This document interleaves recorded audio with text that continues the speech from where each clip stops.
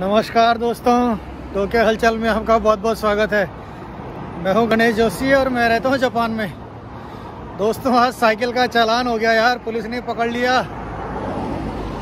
Japan में police ने पकड़ लिया भाई आज साइकिल के चालान पे। वैसे तो कई बार पकड़ती है पुलिस, लेकिन आज साइकिल के चालान पे पकड़ लिया है। मैं आपको फुल स्टोरी सुनाता हूँ। लेट्स सी दोस्तों, यार जैसे आपको ये दिख रहा होगा ना देखो, ये तो मेन रोड है, जहाँ पे साइकिलें वो गाड़ियाँ चल रही हैं। और ये है पैदल वालों के लिए और साइकिल वालों के लिए। कभी कभार साइकिल वाले यहाँ भी चल लेते हैं। लेकिन वैसे अधिकांश साइकिल वालों को क्या होता है कि यहाँ चलना होता है, मैंने आपको पहले भी बताया था एक वीडियो पे, कि साइकिल वालों के लिए और पैदल वालों के लिए होते हैं सिर्फ़ ये वाला जगह। और ये वाली जगह होती है, जैसे देखो ये भाई चल रहा है साइकिल पे यहाँ से। तो कल क्या हुआ? मैं साइकिल लेके जा रहा था दोस्तों। घर पे साइकिल तो रहती है जापान में सबके, चाहे किसी के पास B M W Mercedes Rolls Royce कुछ भी हो, लेकिन साइकिल का यूज़ तो जापानी लोग करते करते हैं। तो दोस्तों, मुझे कुछ काम से जाना था, कहीं अचानक ड्यूटी पे था, मैं तो कोई काम पड़ गया।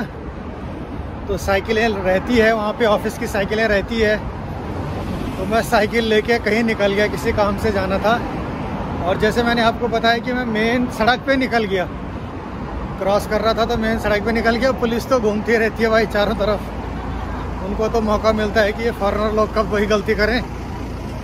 तो उन्होंने मेरे को रोक दिया।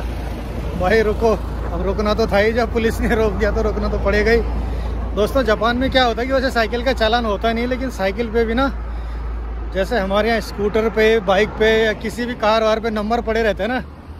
साइकिलों पे भी यहाँ नंबर पड़े रहते हैं। मुझे पता तो था पहले से ही, साइकिलों पे भी यहाँ नंबर पड़े रहते हैं। तो पुलिस वाले कंफर्म करते हैं कि ये साइकिल किसके नाम से है? जब आप साइकिल लेते हैं तो उस समय नाम वहाँ पे नोट करा देते हैं कि हाँ भाई, इस नाम से साइकिल ये रजिस्टर्ड है।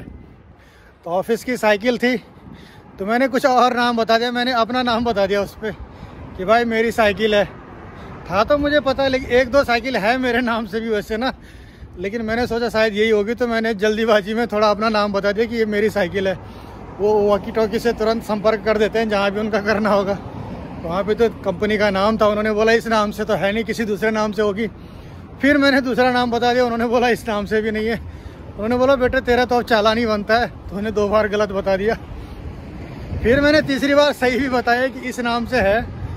तो तब उन्होंने बोला, अब तूने तीसरी बार बताया, लेकिन दो बार तूने गलत बता दिया था। कन्फर्म तो करना पड़ेगा, बेटा, कुछ शक हो रहा है तेरे पे। अरे, मैंने कहा, शक क्या होगा यार? साइकिल लेके मैं किसी की चोरी की साइकिल थोड़ी है। जापान में ये लोग सोचते हैं कि कहीं चोरी वोरी की तो नहीं है, कुछ तो नहीं है ना। इसलिए पूरा डिटेल में कंफर्म करते हैं कि, और खासकर हम लोगों को तो बहुत ज़्यादा ध्यान रखते हैं। जो विदेशी लोग होते हैं, वो सोचते हैं कहीं ये गलत गलत काम ना कर ले कहीं, क्योंकि इनके देश में तो इतना क्राइम होता नहीं है।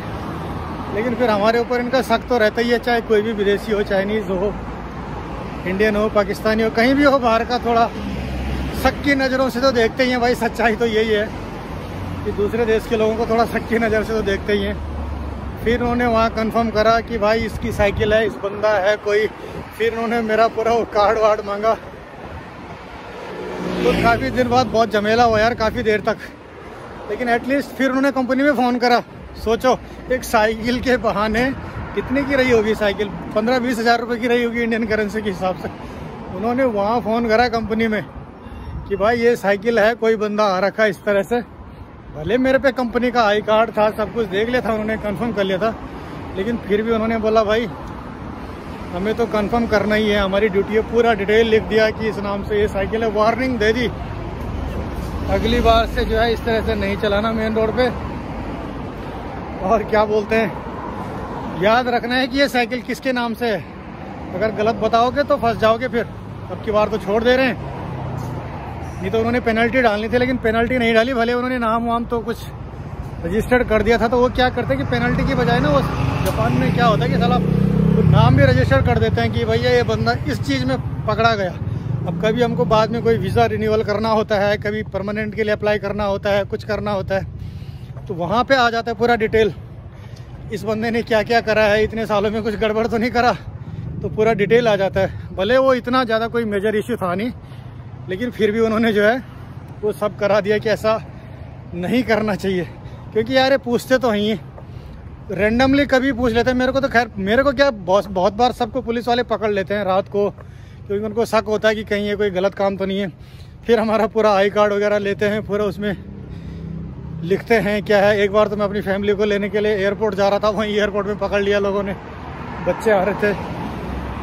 जब क्या बोलते हैं इंडिया से आ रहे थे बच्चे। क्यों आ रखे हो, क्या है अपना काई कार्ड दिखाओ, ये दिखाओ। तो इस तरह से पूरा कंफर्म करते हैं, भले उसमें कोई इश्यू नहीं होता है। उनको अपना पूरा कंफर्म करना होता है, उनको भी तो काम नाम करना होता है पुलिस के पास शायद इतना काम तो है नहीं। हमारी तरह यहाँ, हमारे यहाँ की तरह इतना क्राइम तो है नहीं यहाँ। वही है, उनको छोटे छोटे साइकिल वालों को पकड़ो, किसको पकड़ो, बस वही है। तो इस तरह से जो तो उस दिन तो खैर निपट गया था फिर पंगा। तो मैंने सोचा, चलो आपसे भी शेयर कर लूँ। आप भी सोच रहे होंगे कि यार, यहाँ तो स्कूटर बाइक वाले वैसे निकल जाते हैं। बिना चालान के कार वाले वैसे भाग जाते हैं। और वहाँ साइकिल पे भी इश्यू बन रहा है। लेकिन होता है यार, चलो ठीक है अपने अपनी कंट्री का अपना अपना सिस्टम है। भैया, हमको फॉलो करना है। जब हम उनके देश में आ रखे तो हमें फॉलो तो करना ही है। तो दोस्तों, ये था आज का वीडियो। अगर आपको पसंद आया हो तो प्लीज़ लाइक करना शेयर करना और चैनल को ज़रूर सब्सक्राइब कर देना। और ऑलरेडी जिन लोगों ने सब्सक्राइब कर रखा है, उनका बहुत धन्यवाद।